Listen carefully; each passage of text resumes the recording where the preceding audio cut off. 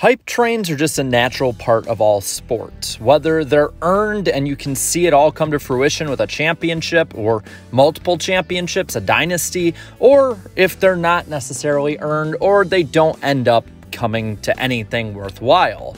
Hype trains are fun to watch, whether you want to see it for the success or the hatred of it, and NASCAR is no different whatsoever. And there's a lot of different hype trains that people will jump on in NASCAR. And today I want to look at a couple of these. Starting with the tracks. Believe it or not, the venues of a NASCAR race do get their own hype train when it comes to tracks that we really love or tracks that maybe were gone and we want to come back. Well, we're gonna, as fans, get behind it. And there's been a couple in recent years that have been pretty big with this.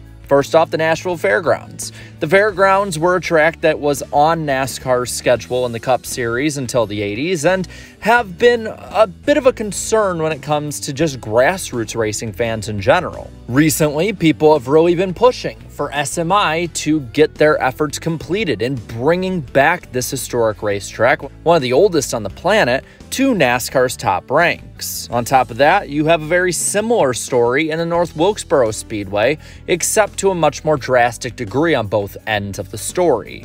North Wilkesboro was cut from the NASCAR schedule in 1996 due to expansionist efforts, and from there basically lay dormant for the better part of 30 years. And during COVID, as well as other different points of time, people would try and bring it back. Dale Jr. trying to clean up the track, and SMI, after getting COVID money, being able to bring it back for the 2023 All Star race and hopefully making it a long term stable part of the NASCAR schedule again.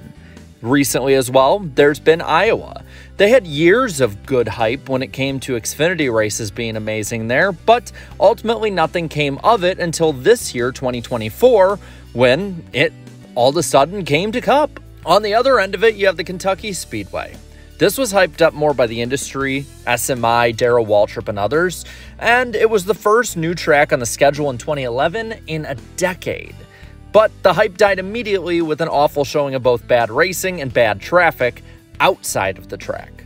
But tracks aren't the only part of the competition that doesn't have to do with a person in particular that gains hype you have manufacturers. First off, in 2001, there was Dodge. They had Evernham and Ganassi behind them, Evernham being the best crew chief in NASCAR in the 90s, and Ganassi being one of the most recognizable names in all of motorsports. They lagged behind, but with Team Penske, they were able to at least compete year in and year out by the end of their tenure, winning the 2012 championship on their way out. Toyota gained a ton of hype in a negative aspect of people basically hating on them saying they didn't belong in NASCAR because they weren't American enough. And with it, in 2007, their failure was greeted by many NASCAR fans with glee. But in 2008, it all paid off with JGR winning tons of races with Kyle Busch, and then Kyle Busch and Denny Hamlin leading this team into the future, with different teams like Furniture Row, Michael Waltrip Racing, Red Bull, and nowadays 2311, as well as Legacy Motor Club, leading the way for the OEM. Speaking of 2311, the teams do gain some hype as well. MJ starting a NASCAR team is a big deal, and it was a big deal when it happened back at the start of the 2020s. Bubba Wallace also being signed right at the height of his non NASCAR hype and fame made it only bigger. This team has been under a microscope, both because of those aspects and Denny Hamlin being so outspoken of a car owner. Make it clear while MJ has his fingerprints on it, at least monetarily, Denny Hamlin's fingerprints are on it when it comes to the day to day operations. And teams can be super teams, and the hype can be gained there, like in the 2010s with JGR, as well as HMS a couple times, which we will talk about a little bit later in this video. Of course, outside of the sports competition in general, games have gained a lot of hype through the years. And there's been three in particular that, in my opinion, will define a hype train for a game. First off was NASCAR 2011 The Game by Eutechnyx. It had the greatest trailer ever. There's no other way to put it, and anyone who says that they weren't hyped after seeing that is just lying straight up to you. But when it was released, it was a sloppy mess and it did disappoint. While improved and the online play could be good for some, it was not what it was cracked up to be, especially after delays. Though in 2012's edition, Inside Line, it was much better, and that game, unfortunately, for years, looked to be much overlooked. And then you have NASCAR Ignition, hyped to be the new era of NASCAR gaming an escape from the mediocrity of the Heat series with motorsport games. And it turned into the worst NASCAR game ever with the worst release ever. It's coming. Physics! Physics! Physics! Now we are currently in the midst of a hype train for NASCAR 25 as it's labeled, the new era once more with iRacing, hoping to redeem the console gaming scene for NASCAR and have maybe the first year over year much better improved game since probably the Thunder series. And with iRacing at the helm, a lot of people are really excited for it. The only time will show whether or not this is a great game or another died down hype train. But of course, the one part of the hype train that you want to look at and you see the most is the drivers. And there are two drivers in particular that I think make up both ends of the hype train when it comes to big name drivers. We have rookie hype trains. We've had times where rookies will jump up to the Cup Series and have maybe some good experience and good runs in the Xfinity and Truck Series. You got guys like Biffle, Truex, others like that in the 2000s that ended up panning out. Others like, say, Yeley or Stremme, who were hyped up at least by industry folk that didn't really make it as far in their careers. But two drivers, in my opinion, look the best when it comes to the hype train. First off, you have Kyle Larson. Larson looked to be a prodigy. I mean, guys even like Jeff Gordon were saying he was going to be the future of NASCAR, and it looked like with Ganassi, as he raised the team up from being mediocre to actually competing in the playoffs every year, that he'd be able to do so. But by 2020, it looked like he had hit a glass ceiling.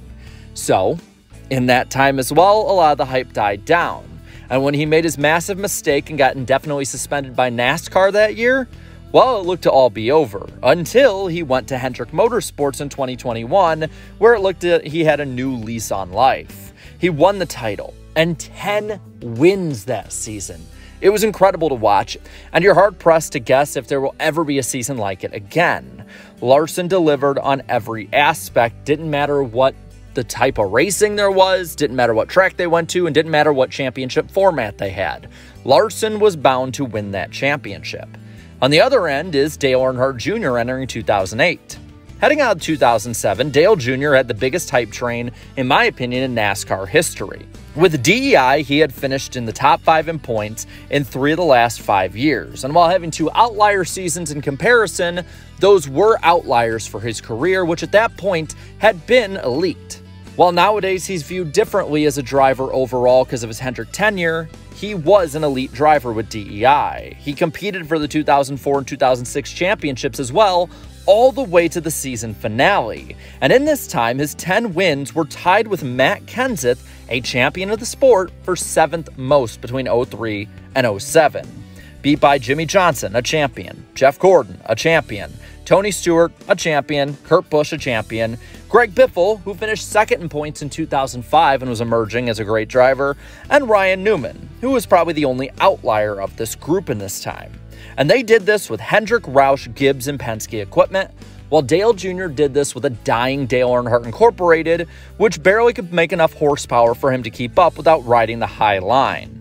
So you can kind of see now that entering 2008, Jr. going to Hendrick Motorsports seemed like Kyle Larson going there. At this point, Jr. had had more success than Larson in his career. And when he won two of the three events in Speed Weeks with the shootout and duel, well, it looked like he was only going to deliver more. Unfortunately, in the points racing season, well, he ended up only having one win between 2008 and 2012 at Michigan. And while we recovered in 2012 all the way through 2015, a lot of people do look at his career at Hendrick Motorsports as a failure, though he performed much better than most drivers ever would. So, what's the moral of all of this? Is it that hype trains are just going to be around no matter what? Is it that some drivers fail, some drivers are good? What is it? I'd say it's this enjoy the train before it leaves the station, because you might look back fondly on it but if you don't enjoy it in the moment, you're really missing out on the true fun aspect of it. So, with that, I'll pass it on to you and ask what your favorite hype train is And until next time, have a good one.